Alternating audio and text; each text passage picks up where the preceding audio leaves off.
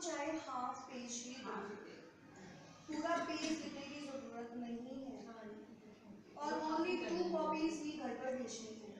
चाहे एक अच्छी कॉपीज ही नहीं सिर्फ़ टू कॉपीज और वो जितना हो सके मिनिमम नहीं बस हाँ भाई इसको कुछ रिस्पॉन्सिबिलिटी दी गई है। टू लाइन की ये सिर्फ़ वही करके आए चाहे एक ही लाइन हो चाहे दो ही लाइन हो। ये नहीं कि उनके ऊपर बर्डन है पेरेंट्स के भी ऊपर बर्डन है कि इनको करवाना है और बच्चे भी जाना चाहते हैं प्लेग्राउंड में मगर उनको बिठाया गया है होमवर्क के लिए। That is already the PTM Yes. Parents को कि ऐसा नहीं करना है कि होमवर्क देख के कि it is not like that कि किसी Two, दिन three आपको lines जाना enough है है। बच्चे को कहीं लेके जाना है और आप होमवर्क के पीछे हो तो नहीं। इतना स्ट्रिक्ट नहीं होना है होमवर्क को लेके दैट ऑलरेडी टोल्ड अगर वो टू लाइंस नहीं भी करके आ रहा है सम टाइम ये क्लास में लास्ट टाइम तो चलो हम एक पेज दे देते हैं मैं जब ये ट्रेनिंग लेके नहीं आई थी मैं भी एक पेज दे देती हम थी। हाफ़ ही पेज में देते हैं मगर हाफ़ हम पेज तो एक ही पेज देते थे मगर अगर वो नहीं करके आ रहा है हम लोग भी मैं अंडरस्टैंड करती थी और फिर अगर वो बच्चा उसने कर लिया है खेल रहा है खेल कर वो वापस आ रहा है मेरे पास टाइम है तो अपना ही हमने करवाना ही है तो भी ये कर लो जल्दी जल्दी और वो टीचर की बात हमेशा मानते हैं वो कभी बोर फील नहीं करते बट एक बर्डन नहीं समझते हैं कुछ पेरेंट्स होते हैं हम अगर हाँ, और इतना ही होमवर्क हाँ तो वो क्या करते हैं पेरेंट्स तीन पेज लिखा के भेजते नहीं हैं मना करो वो एक्स्ट्रा तीन पेज एक्स्ट्रा कराते हैं parents। नहीं मैम जैसे आपको मेरा आप भी उनको एक teach ऐसे करो, करता आप था, उनको मैंने बताओ उनको कि बोला, ये आप घर के लिए रखो level- बनाए। हाँ मैं भी बोली, वो मैं बच्चे बोली, उसका मैं लेवल इसमें बहुत बता कम रही है मतलब छोटे बच्चे हैं ये इसीलिए सर आई थिंक वो स्किप हो गया है। ओरिएंटेशन भी एक बहुत ज़्यादा इम्पोर्टेंट पार्ट है। पेरेंट्स पेरेंट्स वो वो आपका beginning of होगा। the होना चाहिए। यस नॉट अ बिगिनिंग वो जुलाई जुलाई में बोला गया है हमें कि जुलाई में करो जब हॉलीडेज से बच्चे आते हैं। जो भी आपके पॉइंट्स हैं जो भी समटाइम क्या होता है टीचर अंडरस्टैंड नहीं कर पाता है। और समटाइम क्या होता है पेरेंट्स अंडरस्टैंड नहीं कर पाते हैं टीचर को।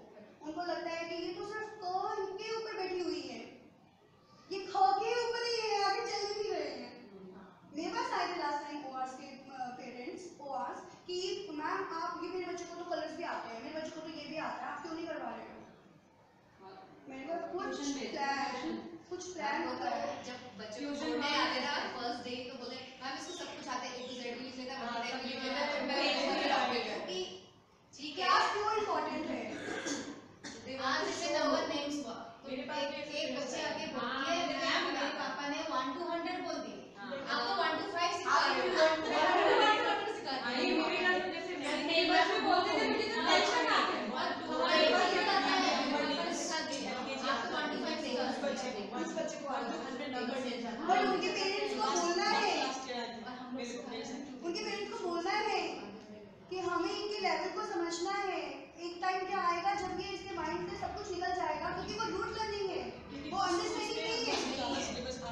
वो अंडरस्टैंडिंग नहीं है वो right? वो understanding ऐसे नहीं ही है। रोटेट है रख लिया उसने और बोल दिया कि पेरेंट्स भी हैप्पी कि मेरे बच्चे को वाह वाह आ गया नहीं एडवांस चल रहा है एडवांस चल रहा है बिल्कुल नहीं उनको रोको कि जितना स्कूल में जो प्लान हो रहा है उनके लेवल से हो रहा है ये बुक्स जो बनाई गई हैं इनके लेवल की बनाई गई हैं four year four year plus three year plus five plus तो प्लीज़ मतलब इनके साथ खेलो मत टाइप अपने ही वे में हमें बोलना है कि ये बच्चे हैं ये थोड़ी ना है कि अभी से इनको भी कॉपी किताब किताबी कीड़ा बना दो और ये बढ़ जाएँगे आई ये पेरेंट्स को हर पीटीएम में बोलते हैं।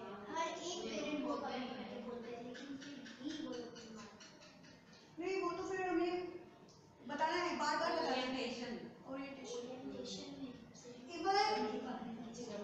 जब हम ओरिएंटेशन करेंगे तब हम काउंसलर मैम को भी बोलेंगे कि एक बच्चों के लेवल के ऊपर एक लेक्चर दीजिए पेरेंट्स को भी और टीचर्स को क्योंकि वो ज़्यादा अच्छे से वो ज़्यादा अच्छे से एक्सप्लेन कर पाएँगे एक काउंसलर जो होती है उनको पता है कि लेवल क्या है उन्होंने स्टडी की होती है बहुत सारी स्टडी हम तो बी एड में सिर्फ़ एक बुक होती है उसको करके आ गए